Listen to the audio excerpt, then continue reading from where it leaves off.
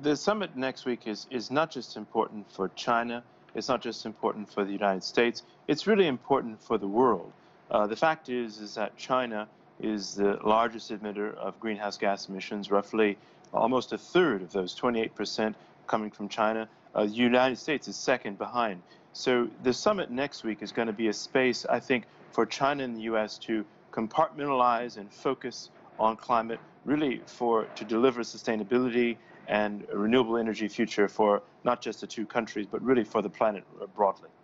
Now, climate envoy John Kerry is also trying to press China for more commitments to cut emissions. But some say the U.S. is in no position to make demands after walking away from the Paris Climate Agreement under Trump. What are your thoughts on that?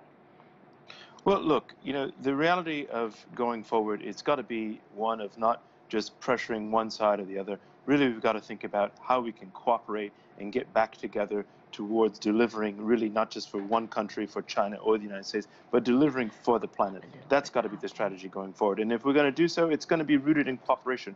Really, if we're going to deliver the planet on a sustainable pathway, it's going to take both China and the U.S. working together. And that's something that, you know, fell apart in the last four years under the previous administration. So we've got a really historic uh, uh, opportunity coming forward in the next couple of weeks uh, to put that cooperation pathwork framework together again.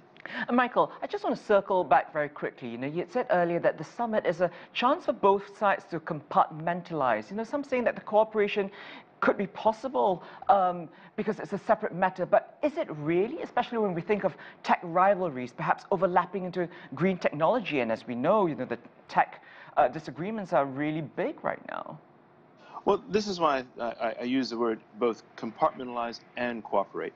We know there's a lot of issues in terms of tech, in terms of Taiwan, in terms of many, many other concerns that the U.S. and China don't see eye to eye on. But there's a real opportunity here if we can compartmentalize on climate to really drive and, and, and really kickstart cooperation. I think that's going to be really key going forward. We had a mechanism, the U.S.-China clean energy uh, effort, that was uh, that collapsed. Uh, there's a time to restart that. There's a time to really bring the two countries together, working to deliver uh, for each other, but also for the globe uh, going forward. It's going to be really important, uh, the cooperation part of that.